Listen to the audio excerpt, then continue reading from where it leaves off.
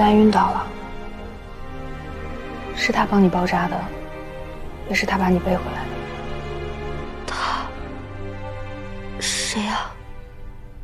他现在没脸见你，他在哪儿？你真的要见他吗？我带你去。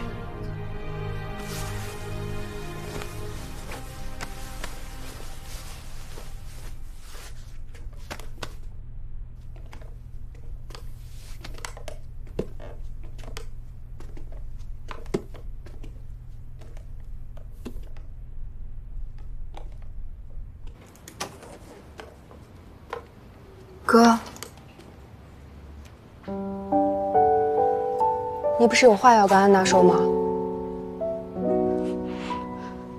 林志军，林志军，你现在都不敢转过来看我一眼是吗？对不起。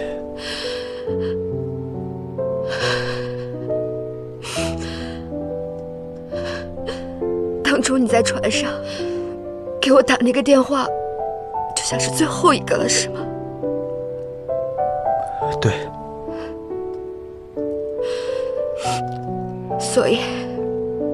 头到尾根本就没有打算跟我结婚，是不是？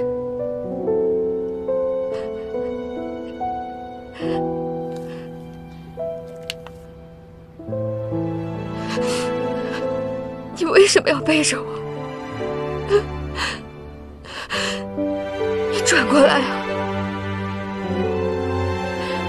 林志军，你转过来！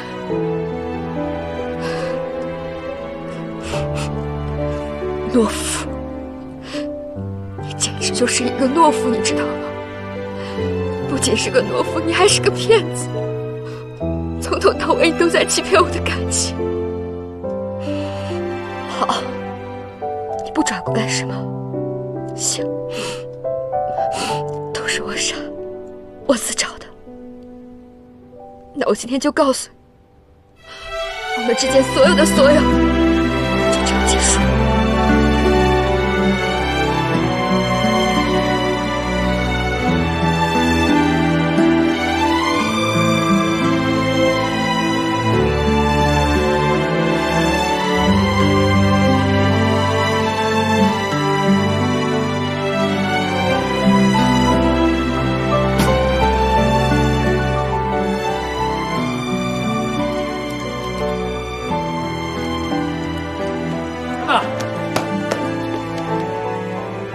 你手怎么了？啊？娜娜，发生什么事了？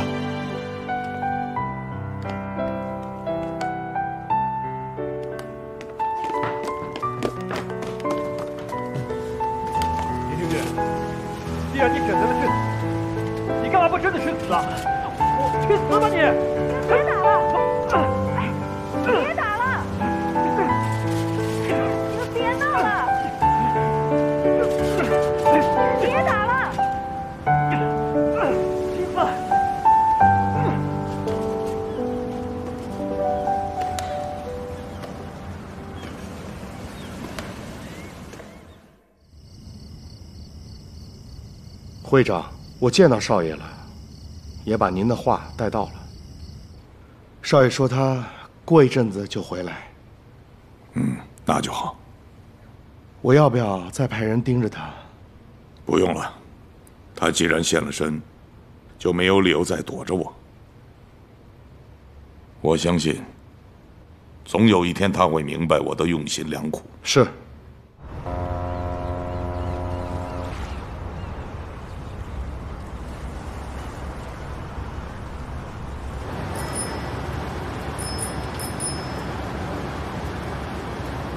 今天我到处找你的时候，发现了这个。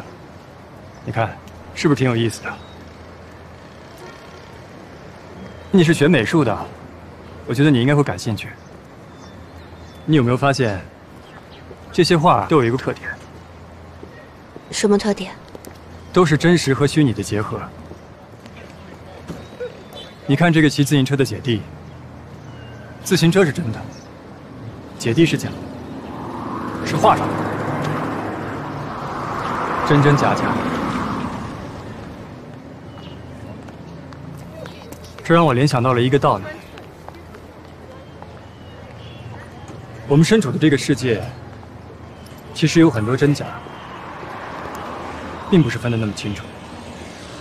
你以为是真的，其实是假的；可你以为是假的，还有真实的存在。我们得接受，这就是我们身处的这个世界的真相。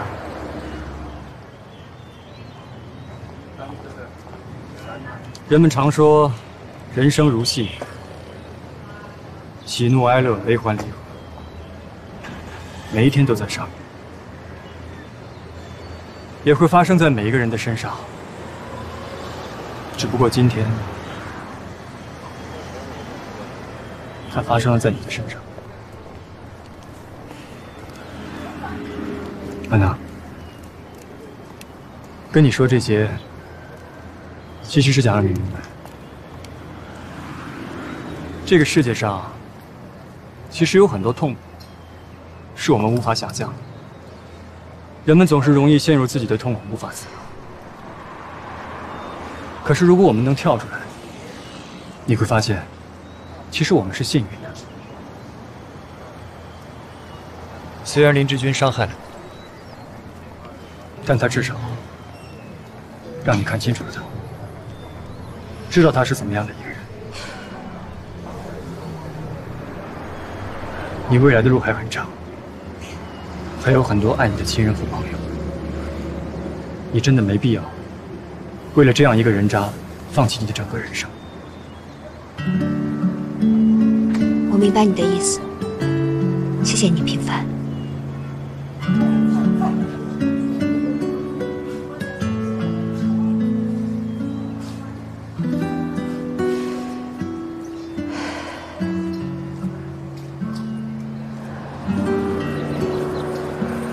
明天回家了，回家，不会再让你爸妈担心了吧？不会了。那他们如果问起来，死了，死了，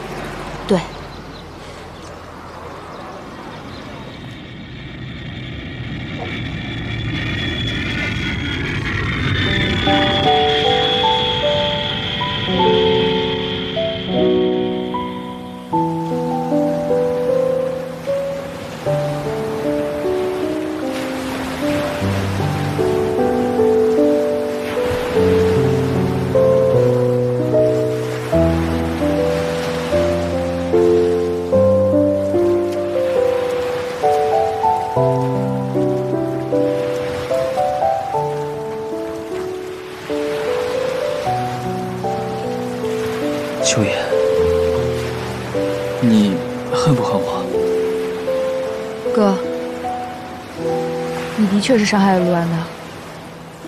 她那么痴情，那么善良，我只恨我自己成了你的帮凶。对不起。如果我是你，我一定会告诉他真相。我已经伤害了他，我不能再去伤害他。这样只会造成更大的伤害。不要说了，让我一个人待一会儿。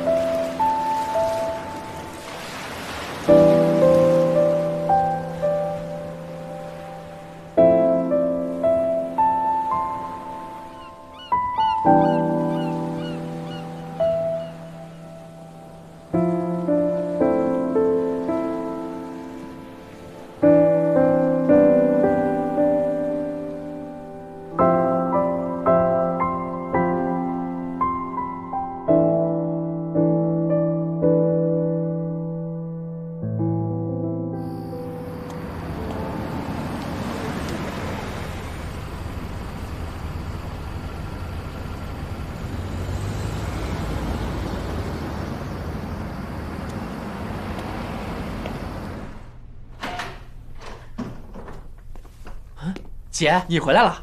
大姨，我姐回来了，没事吧？李总，周老师。啊。你还知道回来啊？事儿办完了我就回来了，不然我还住在那儿啊。哎，你手怎么了？没事儿，树枝划的。我看看，破了吗？呀，你怎么这么不小心呢？你是稀有血型，比熊猫还稀有。上次出这么大事儿，你要再出点什么事儿怎么办呢？我不都说了没事儿吗？这不还有大夫跟着吗？我告诉你啊，你现在这个情况，就别回你那个小出租屋了，好好给我在家里待着。行了，知道了。小赵，谢谢你啊！啊应该的，周老师，您不用担心，安娜的手没什么大碍。哎，雨霜，带多多回屋。走，回房间睡觉去。啊，走走走。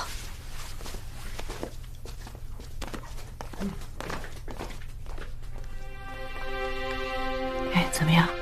打听清楚了吗？林志军已经死了，徐秋言给我们看了他的死亡通知书。那这个马来女人呢？身份搞清楚了吗？确实是林志军的妻子。哎呦，真够奇怪的。哎，你说他老婆就这么由着他在中国鬼混，长时间不回去？他们夫妻俩的感情已经破裂很久了。他这次出事，也是为了回去跟他离婚。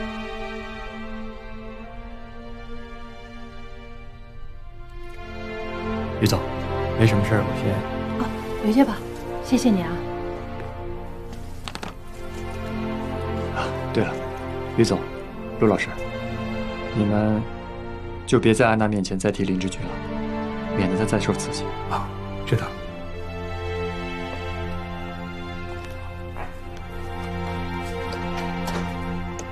再见，再见。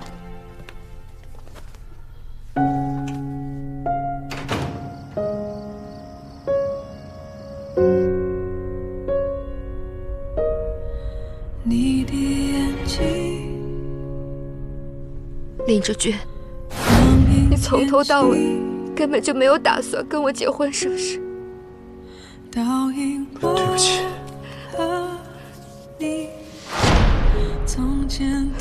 懦夫，你简直就是一个懦夫，你知道吗？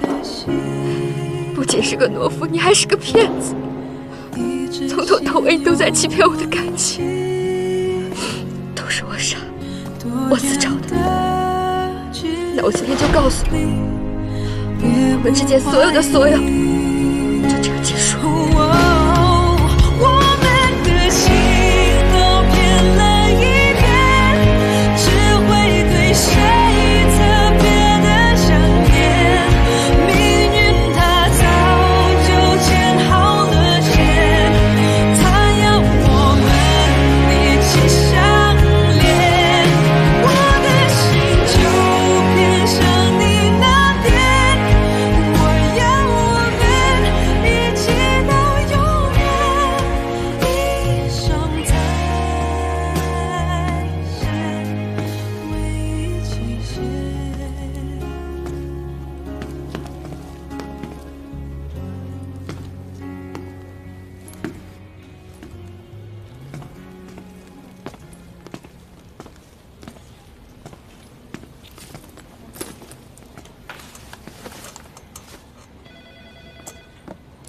次我也几天不来上班，来了之后呢，我也换个造型，让你们都瞧瞧。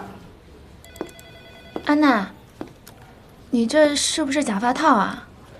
不是啊，自己头发。啊？不好吗？哦，就感觉颜色有点跳，不太像你平时的风格。平时我什么风格？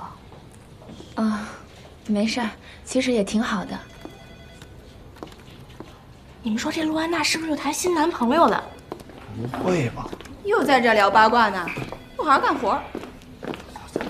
哎，何雅，我们这期杂志的销量怎么样啊？拜托，我是文字编辑，又不是销售部的。你不是去印刷厂了吗？咱们这次印数是增加了还是减少了？增加？想什么呢你？哎，哥呀，嗯，这安娜怎么了？安娜来上班了吗？啊，你看呀。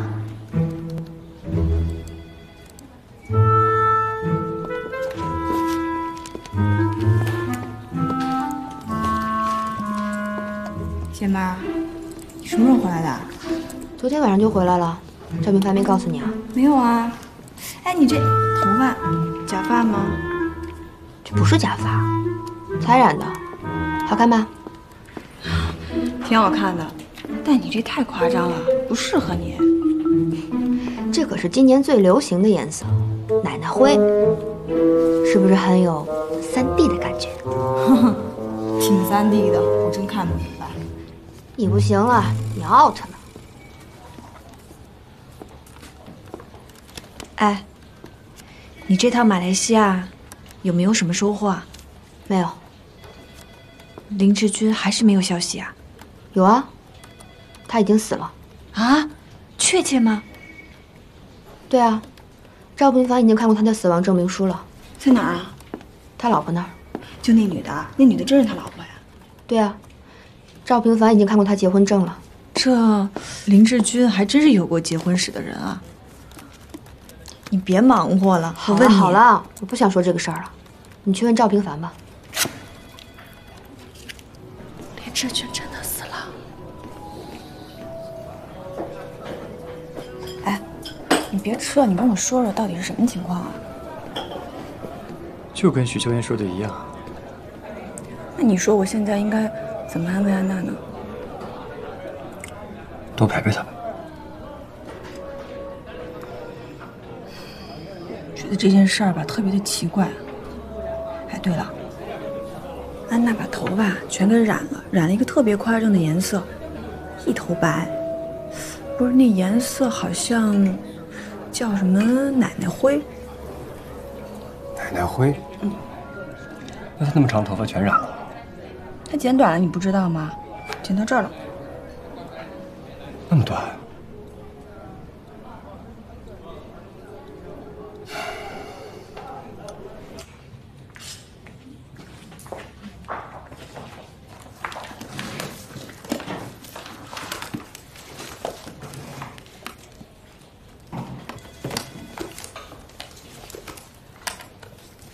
哥呀，你先说。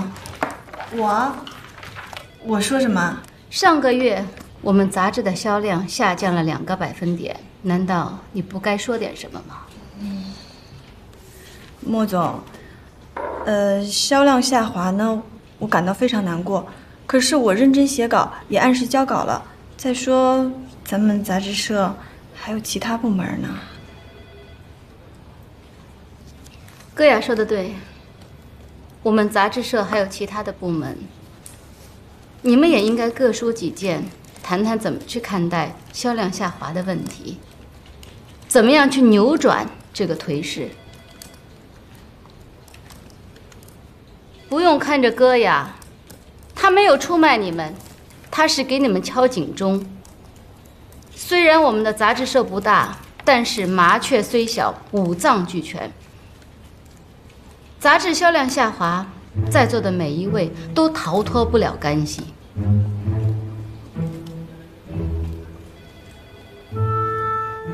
陆安娜，嗯，几天不见，你这个发型是怎么回事？涛，你不是鼓励我们标新立异吗？你不是说我们不仅要思想前卫，打扮也要前卫吗？哼 我这可是按照您的指引，把头发剪成这样的。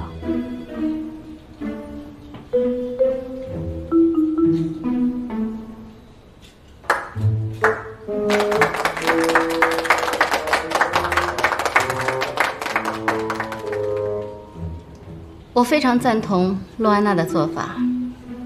我曾经不止一次的说，我们是一个前卫的杂志，所以我希望在座的员工都向洛安娜学习，能够大胆的尝试去改变自己。你们的头发该染的染，该烫的烫，创造出一个青春、活跃、时尚的气氛。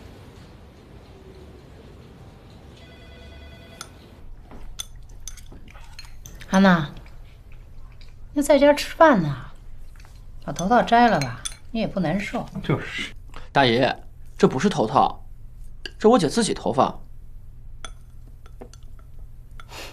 你别逗大姨了啊，神经病才把头发染成这颜色呢，跟老太太似的。大姨，你不懂，现在流行这个颜色呢，这叫奶奶灰。不信问我姐。就你多嘴。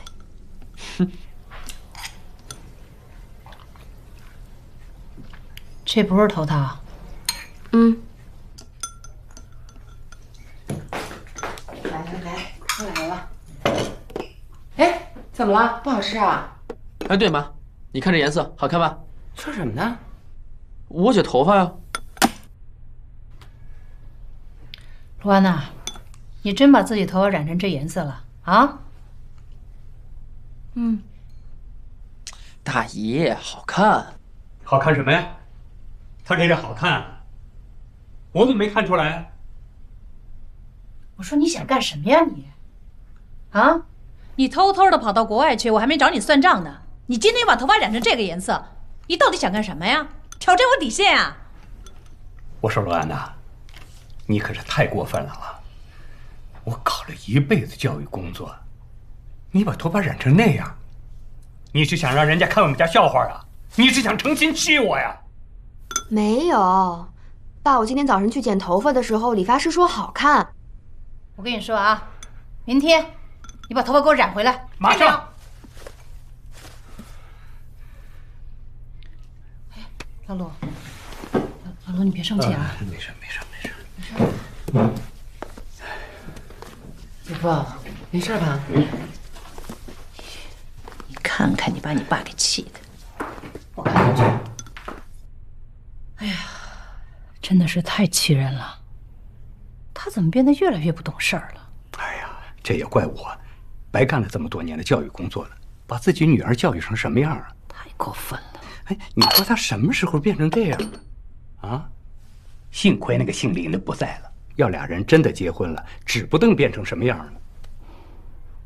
他明天头发要还是这个颜色，我就不许他进这家门。这我同意。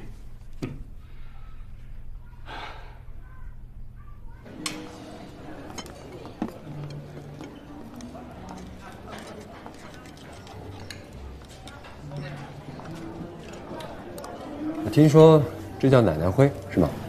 嗯，你喜欢吗？挺好看的，我喜欢。咱们喜欢点别的行吗？你妈给我打电话了，说你爸就因为你这个发型，气得差点心脏病都犯了。咱为了这几根头发，犯不上吧？我染什么颜色是我的自由。是是你的自由，但你也得顾及他人的感受啊。我知道，你换发型是想换个心情，可你有没有想过，你越是刻意的改变，越是不利于你忘掉过去。什么意思啊？哎呀，其实我就是想说，忘掉过去没那么容易。没必要刻意为难自己，更没必要为难别人，顺其自然吧。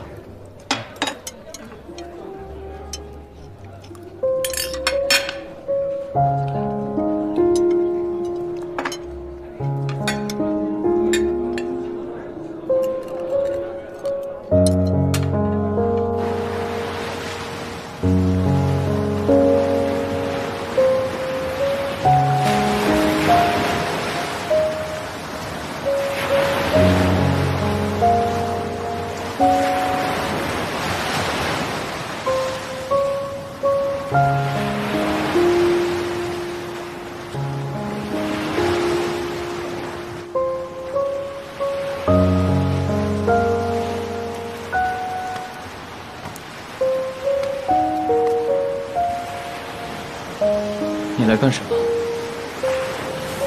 安娜就在大海的那边。我没有在想她，我在想妈妈。她最后一眼也没有睁开眼睛看我一下。你知道妈妈最大的心愿是什么吗？是什么？她最大的心愿就是希望你幸福。他很担心你，担心你为了他的病放弃了自己的幸福，也担心你为了他欺骗像安娜这样爱着你的女孩。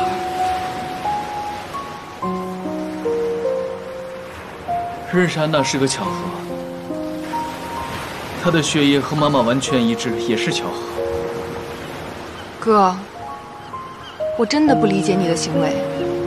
你们是相爱的，你为什么要离开他呢？这一点都不像你，你伤害了他。这样才是对他负责任的。说再见应该是最好，才能保证一个幸福的未来。哥，你是不是还有什么事瞒着我？没有啊，你有。真没有，别多想，真没有什么。你现在可以不告诉我，但我会知道的。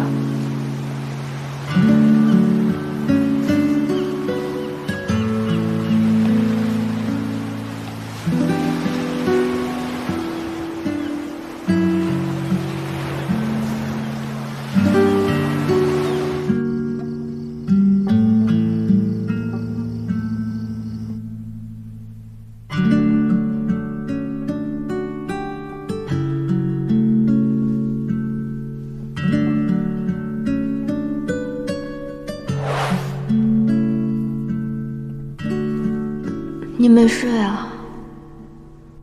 我在看你呢，看什么呢？就是看不够你。讨厌。好了，嗯。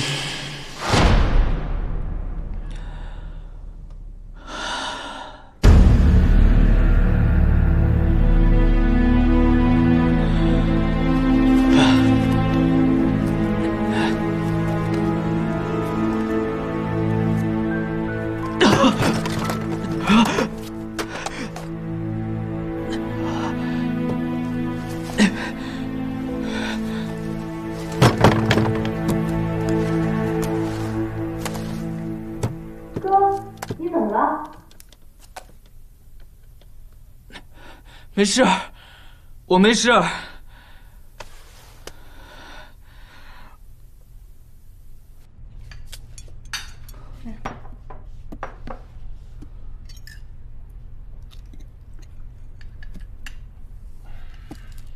哥，昨天怎么回事啊？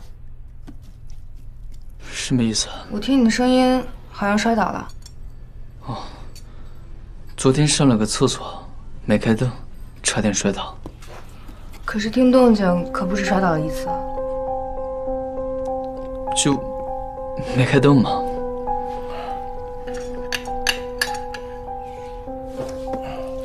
快吃吧。你手怎么了？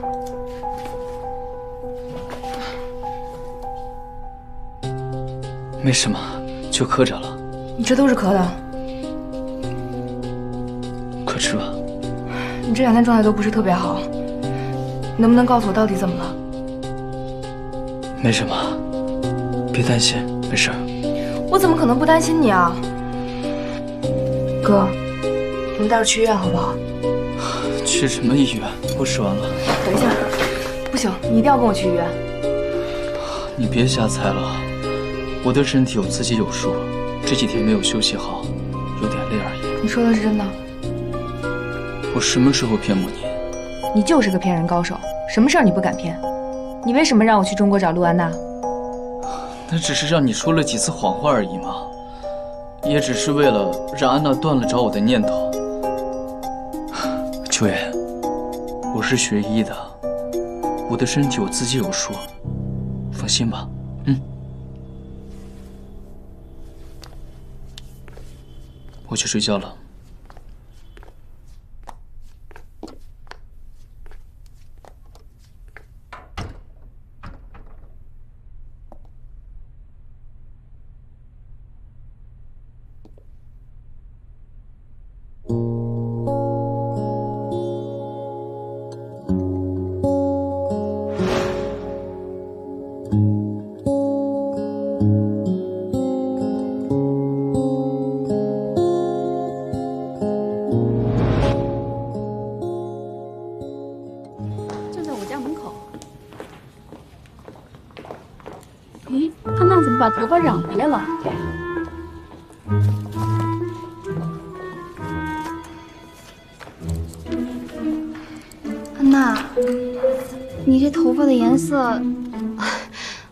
染回去了呀。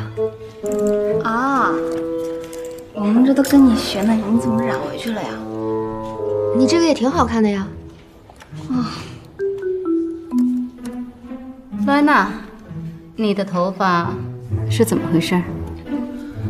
我昨天回家，我爸看到我染的头发，差点心脏病都气出来了。我妈说，我要是再不染回去，她就不认我这个女儿了。可是大家都染了，你却……我看大多数都没染吧。行了，不讨论头发了，现在开会吧。我先说说公司的近况。策划部找不到像样的方案，宣发部写不出吊人胃口的广告语，广告部招不到固定的客户，文学部写不出夺人眼球的文章。再这样下去，我们的销量还会下滑，到时候你们就各回各家，各找各妈吧。罗安娜，说说你的看法吧。我没什么看法，你让我干嘛我就干嘛呗。真的吗？嗯，好，我要让你把自己的经历写成报道文学，在我们的刊物上连载，行吗？我不会写，我会找人替你写。我没什么好说的。陆安娜，不要那么固执，行不行？人的每一段经历都是财富，你的爱情经历是很多人可遇不可求的。我找人替你写，就等于给你写了一个回忆录，这是天上掉馅饼的好事儿啊！莫总，您结过三次婚，离过三次婚，三次上法庭，三次打官司，三次都输了。你为什么不写你自己呢？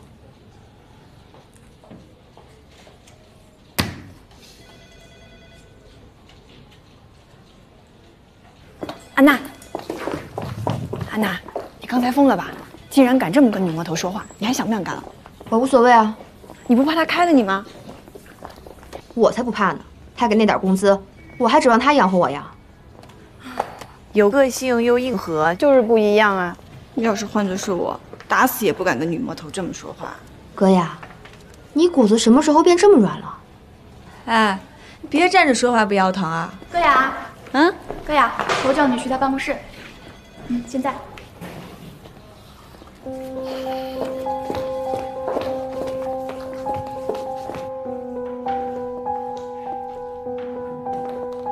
莫总，您找我啊？坐吧，我有事要问你。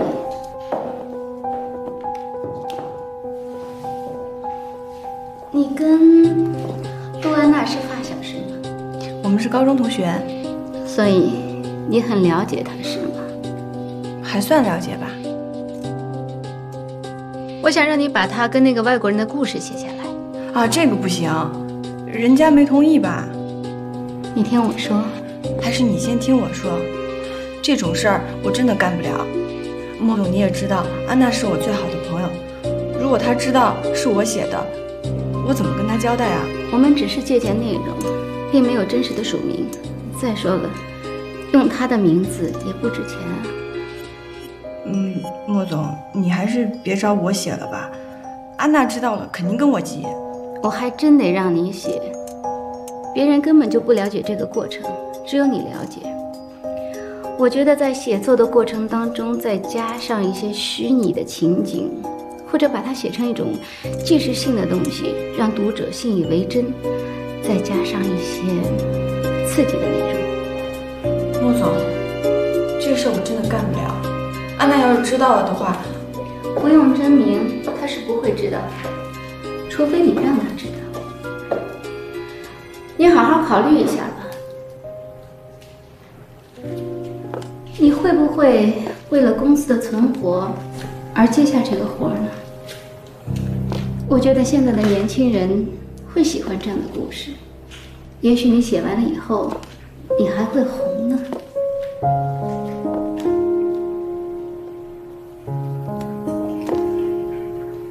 我给你一天的时间，让你考虑一下。我希望你能够珍惜现在的机会，珍惜你的工作。你知道吗？现在在外面找一份工作有多难？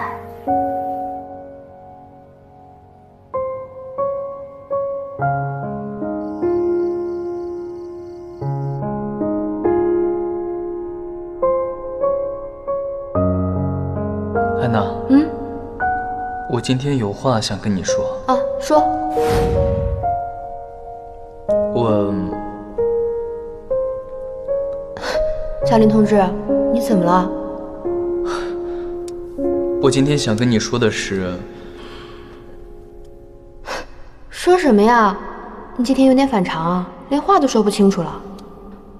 不行，回头再说。不，这个话其实很重要，它关系到我的做人，也关系到我们未来能不能幸福。安娜，我告诉你这些，你答应我不要不高兴啊。林志军，你是不是要……安娜，我您好，您的咖啡，请慢用。谢谢。我，你快说啊！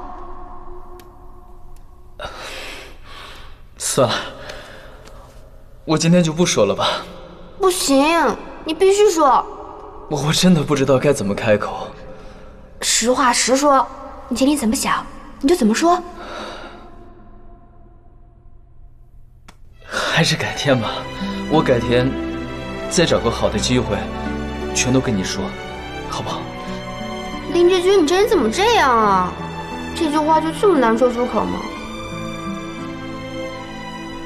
好，好，那我说了，安娜，经过我慎重的考虑，安娜，我。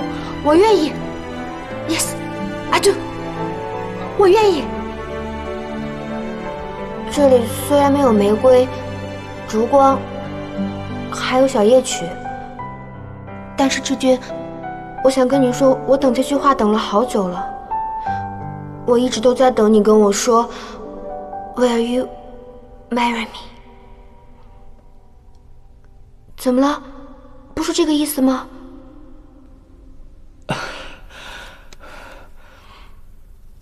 被你看出来了。对不起，我没准备戒指。没关系，等到婚礼上的时候再给我戴上。原来你那天不是要跟我求婚，你是想让我给你妈妈献血，对吗？我太傻